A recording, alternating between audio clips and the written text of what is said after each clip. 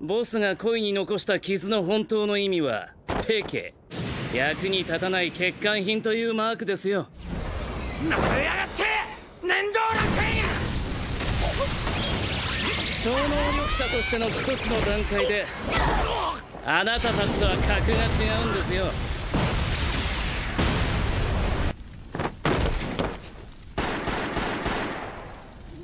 だがさっきのマンホールは聞いたよな。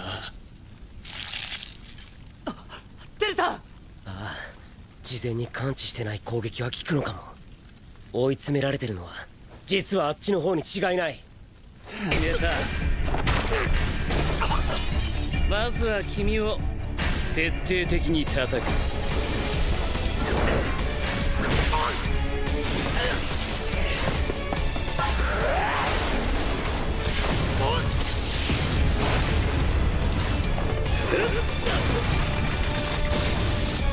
まずいね。壊される。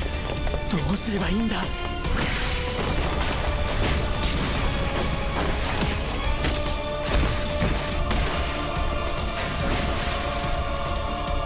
そろそろおしまいですね。次は後ろ。相手の動きを読めるのは便利かもしれないけどあんたの動きも単調になるんだよあんたも凡人なんだな。どうやら僕でも倒せそうだ。やっぱり気がされた瞬間だ。ナイスだ。弟くん。5発目消滅。飛行だ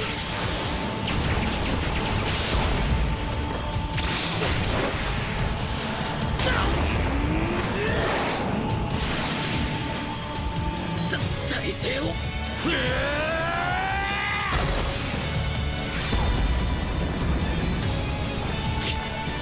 中しろ。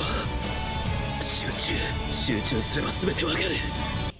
マインズアイ。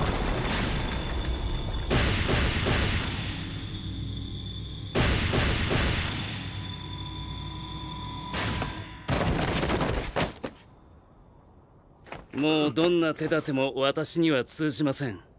ダメージや本人でさえ知らないだろう弱点そのほとんど霞んだ目も全てが手に取るように分かります。